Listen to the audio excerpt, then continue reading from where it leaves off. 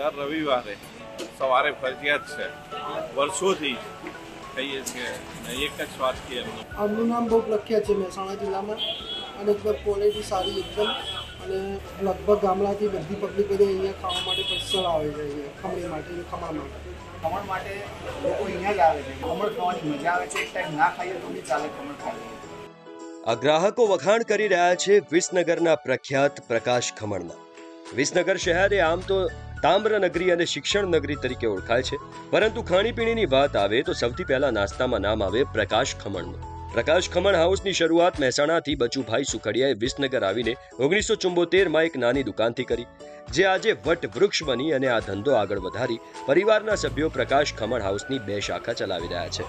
ત્યારે પ્રકાશ ખમણ હાઉસના માલિક નીરવ સુખડિયા પ્રકાશ ખમણ હાઉસની શરૂઆત કેવી રીતે થઈ તે વિશે જણાવતા કહે છે કે પ્રકાશ કમળ બનાવવામાં સૌથી મોટો ફાળો અમારા બા પરભાવાનો રહેલો છે. ત્યારબાદ અમારા દાદા બચુભાઈ સુખડીયા.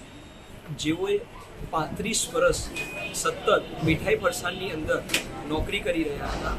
પોતે અભ્યાસના પણ એટલા જ તજજ્ઞ હતા અને જેઓને સાત ધોરણ સુધી ગાયકવાડ સરકારમાં ડિગ્રી પ્રાપ્ત થઈ હતી અને જેઓ પોતે શિક્ષકની નોકરી મળતી હોવા છતાં અમારા બા જે પરભાબા જેઓએ અમારા દાદાને પ્રેરણારૂપે કીધું કે ના બચું, આપણે કંઈક એવો ધંધો કરીએ કે જેથી શું થાય કે એ ધંધાની પ્રેરણાથી આપણો પરિવાર સચવાય.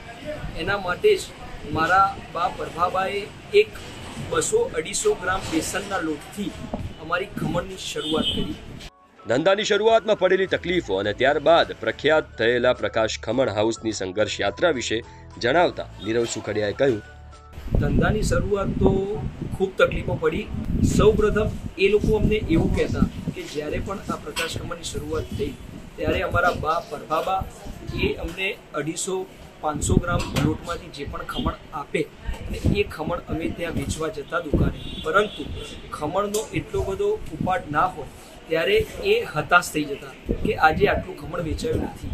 તો એ લોકો ઘરે આવીને અને એ જ ખમણનો પોતે ભોજનમાં ઉપયોગ કરતા અને એ રીતે પોતે સૂઈ જતા. પ્રકાશ ખમણની પાછળ ફેમસ થવાનું રીઝન એ છે કે ગ્રાહકોનો પ્રેમ, અમારા વડીલોના આશીર્વાદ. હવે વાત કરીએ પ્રકાશ ખમણની રેસિપીની, તો આ સ્વાદિષ્ટ ખમણ બનાવવા માટે ચણાનો લોટ, ખાંડ, મીઠું, લીંબુના ફૂલ અને ખાવાનો સોડા જેવી સામગ્રીનો ઉપયોગ થાય છે. પછી તેમાં પાણી મિક્સ કરીને ખીરું બનાવીને તેને સ્ટીમ મશીનમાં ત્રીસ મિનિટ સુધી સ્ટીમ કરી, ખમણને ઠંડા કરીને તેના ટુકડા કરવામાં આવે છે. અને છેલ્લે તેલનો વઘાર કરીને ખમણ પર છાંટવામાં આવે છે. અહીં ખમણની અલગ અલગ વેરાયટી સાથે ઈદડા, વઘારેલા પાત્રા, રસવાળા પાત્રા, જલેબી, લીલવાની કચોરી, ચાઇનીઝ સમોસા, પંજાબી સમોસા અને નવતાડના સમોસા જેવી અનેક સ્વાદિષ્ટ વેરાયટી મળે છે. તો છેલ્લા ઓગણપચાસ વર્ષથી પ્રકાશ ખમણ હાઉસના ખમણનો સ્વાદ એક જ જેવો છે. ત્યારે પ્રકાશ ખમણ હાઉસના માલિકનું કહેવું છે કે અમે ગ્રાહકોને હાલ પણ ગરમા ગરમ અને ટેસ્ટી ખમણ મળે તેના પર ફોકસ કરી રહ્યા છે અને ભવિષ્યમાં પણ કરતા રહીશું. Vijay Thakor Divya Bhaskar Visnagar. Share and download કરો દિવ્ય ભાસ્કર એપ